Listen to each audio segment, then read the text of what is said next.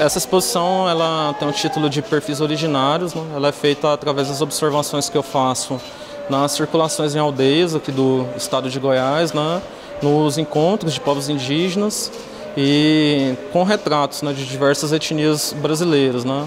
É, a intenção desse trabalho é revisitar as imagens formadoras, né, que são as imagens que nós entendemos do, do começo né, da, da arte brasileira, é, na chegada dos colonizadores, e nós ressignificamos essas peças através da identidade indígena, através da percepção dos próprios indígenas, né, para levar para as escolas uma visualidade diferente da que nós encontramos nos livros didáticos. Né.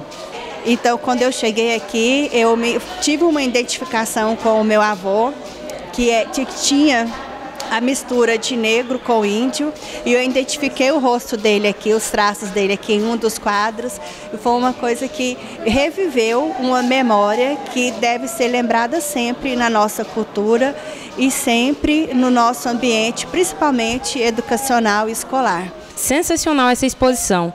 É, é, um trabalho difícil, a gente sabe que desenhar não é para qualquer um, e principalmente trazer algo tão específico quanto o nosso colega ali trouxe. Está de parabéns, eu super adorei e espero que muitas mais pessoas tenham a oportunidade de ver essa obra de arte dele.